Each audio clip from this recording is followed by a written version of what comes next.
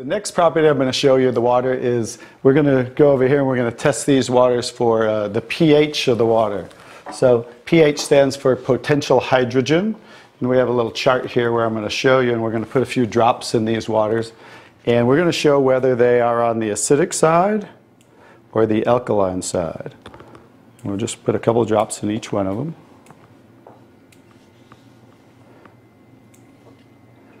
We have a nice little pretty colorful display today, right? And we'll kind of stir these up real quick so you can get a better look and then I'll show each one of them.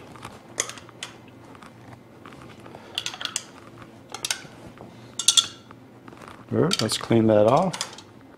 Oh, let's clean it off each time. Okay.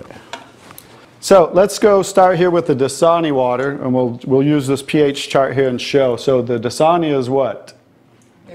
On the acidic side, right? How about the Aquafina? Also acidic. How about the smart water? A little better, but still acidic, right? How about the Arrowhead sparkling? Very acidic. Very acidic. How about the alive water? Very acidic. That's why I call it dead water now. How about the Gatorade? Oh, very acidic. Also very acidic. And how about the 7 Up? Bet you didn't know you were drinking so many acidic things, did you? How about tap water? So right around neutral, right? So tap water is always going to be neutral to slightly alkaline because it's federally regulated by the government.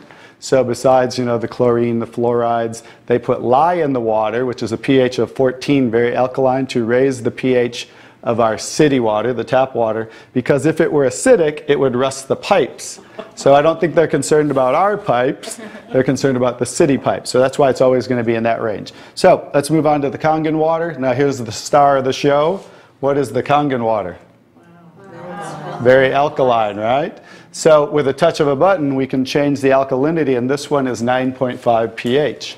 So we all know that we should be slightly alkaline, right? Our body, because we're over 75% water. Unfortunately, look what we're drinking today, and the foods we're eating, and the air we're breathing. And so when you drink this water on a regular basis, just think about your bodily fluids, right? Now watch what happens. What did we just do? Just with a little of the water, we neutralize that and raise the pH of the water. We'll go to the Aquafina. Oh. Notice. What, how about the smart water? Oh. Notice I'm just putting in a little bit, right? So imagine when you're drinking this on a regular basis, what happened to the arrowhead water? Oh, it, it was struggling and then it went right back to acidity. That's because it's very acidic. Notice the alive water, no change. How about the Gatorade? Also no change. How about the 7-Up? So now we'll go over to the tap water. Notice it changed pretty easily, right? So now when you're drinking this water on a regular basis, that's what it's going to help your body to do to balance your pH. Now, I'm going to take the 7-Up here. Now it's already diluted, right? Watch what happens. Now think about you're drinking this on a regular basis. Watch what happens when we just add a little bit of that. Notice it takes it right back to an acidic state, just with a few drops.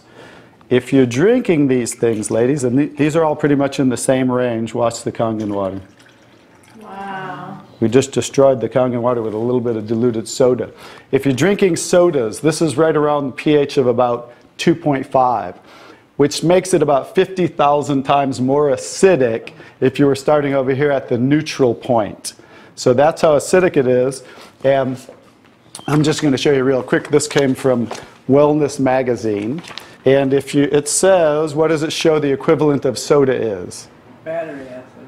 It shows soda equals battery. Your battery in your car, the acid level of the battery in your car equivalent to soda. So imagine, if we want to stay on the alkaline side, you definitely don't want to drink anything like this, right?